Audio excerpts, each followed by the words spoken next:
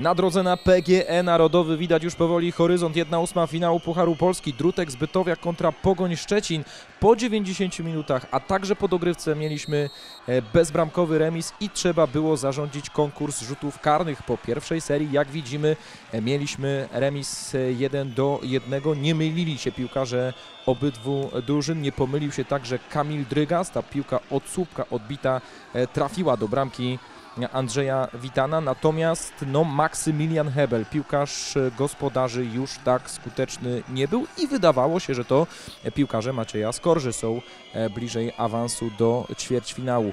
E, Zwłaszcza, że w następnej serii Ricardo Nunes, tak jak widzimy, nie pomylił się. Przedłużył te nadzieje gospodarzy były gracz GKS-u Katowice Sławomir Duda. Pięknym uderzeniem w okienko e, pokonał Łukasza Załuskę. Nie był tak skuteczny Dawid Kort, e, który no, w fatalny sposób zmarnował karnego, a obronił go Andrzej Witan, o którym jeszcze sobie mm, w tym skrócie e, powiemy.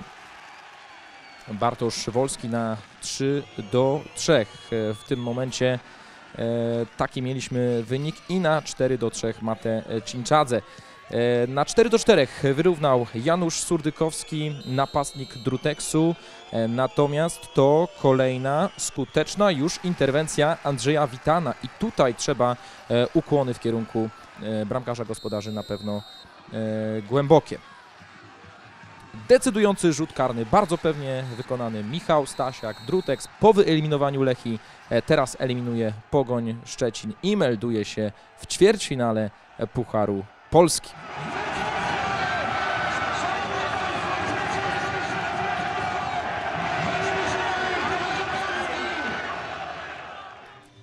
W drugim wtorkowym meczu pod Beskidzie Bielsko-Biało podejmowało obrońcę tytułu Arkę Gdynia. Trener Leszek Ojrzyński wymienił calutką jedenastkę w stosunku do tego, co oglądaliśmy w meczu ligowym z Zagłębiem e, Lubin. No i już w 14 minucie spotkania e, Grzegorz Piesio strzelił bramkę dla gości z Trójmiasta. 6 minut później gospodarzy zdołali wyrównać Łukasz Sierpina z rzutu rożnego, natomiast bramkę strzela Szymon e, Sobczak i było 1 do 1.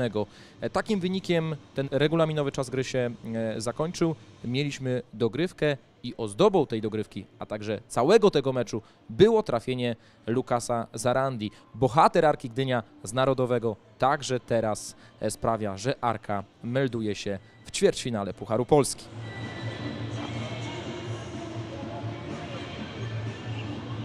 Pojedynek dwóch Beniaminków Ekstraklasy lepiej zaczął Górnik Zabrze. Bardzo precyzyjne dośrodkowanie Rafała Kurzawy. Do tego zdążyliśmy się e, przyzwyczaić. E, Bramkę w tej sytuacji strzelił Szymon Matuszek. To była 65. minuta spotkania. 10 minut później najlepszy strzelec Górnika w tym sezonie, Hiszpan Igor Anhulo strzelił bramkę na 2 do 0. Wydawało się, że jest wszystko pozamiatane, ale Sandecja ma naprawdę niezłomny charakter w tym sezonie.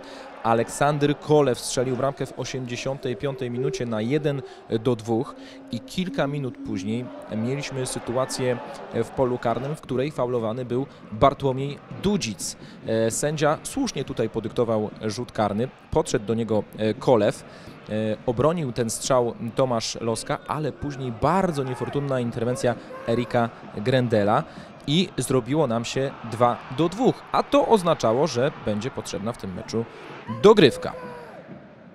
No i w tej dogrywce w 99 minucie Igor Anhulo strzelił bramkę, która dała gospodarzom awans do ćwierćfinału Pucharu Polski.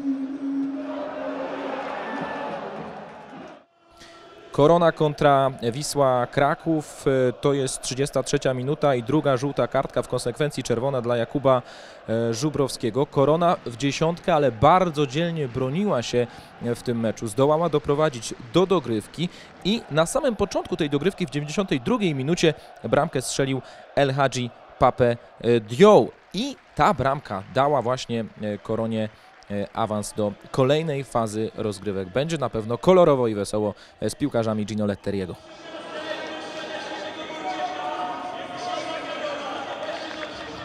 Mecz największego kopciuszka tej edycji Pucharu Polski z jednym z największych faworytów do zdobycia trofeum. E, To jest minuta 18 i taki wątpliwy faul na Jarosławie e, Niezgodzie.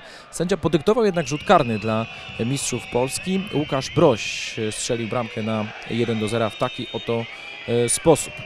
Tyle jeśli chodzi o e, ciekawe rzeczy w wykonaniu podopiecznych Romeo Jozaka w pierwszej połowie. To fragmenty e, drugiej części meczu. Armando Sadiku, który pojawił się kilka minut wcześniej, strzelił bramkę na 2 do 0 e, po podaniu Sebastiana Szymańskiego.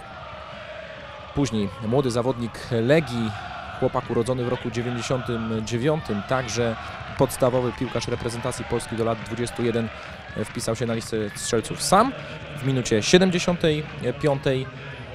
Natomiast e, 7 minut później mieliśmy stały fragment gry dla gości. Maciej Dąbrowski skorzystał z tego, że no, literalnie nikogo nie było przy nim w polu karnym i strzelił bramkę na 4 do 0 dla Legii.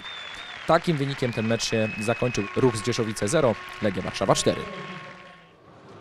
Szansa na rehabilitację za dość przeciętne wyniki w Ekstraklasie dla Krakowi przyszła w jednej ósmej finału Pucharu Polski, w którym piłkarze Michała Probierza zmierzyli się z Zagłębiem Lubin, ale te plany zostały dość szybko pokrzyżowane, bo już w piątej minucie spotkania mieliśmy rzut karny dla gości. Faulowany przez Siplaka w polu karnym był Bartosz Kopacz. Oczywiście Michałowi Probierzowi ta decyzja nie mogła się spodobać. Jakub Świerczok ustawił sobie piłkę na 11 metrze i nie można powiedzieć, że bardzo pewnie, ale solidnie wykonał ten e, rzut karny. Później mieliśmy bardzo ładną dwójkową akcję Bartłomieja Pawłowskiego, a także e, Patryka Tuszyńskiego. E, Ten pierwszy strzelił gola dla Zagłębia numer dwa. Natomiast trzeba docenić także czujność tutaj i zmysł do gry kombinacyjnej byłego piłkarza, m.in. Jagiellonii Białystok. To minuta e, 35 i rzut rożny dla e, piłkarzy Piotra Stokowca. Dośrodkowuje Bartłomiej Pawłowski, a bramkę strzela Bartosz Kopacz, człowiek, który jeszcze kilka dni temu na łamach Zagłębie TV mówił o tym, że tęskni za strzelaniem goli, no to sobie przypomniał, e, jak to uczucie może wyglądać. To jeszcze raz powtórka tego naprawdę dobrego e, dośrodkowania Pawłowskiego, który do gola dorzucił asystę. Jeszcze jedna warta odnotowania e, sytuacja w tym meczu. Sytuacja, którą trzeba napiętnować, bo e, to, co zrobił Oleksij Dytiatiew jest makabryczne, jest brutalne, jest brzydkie, hamskie.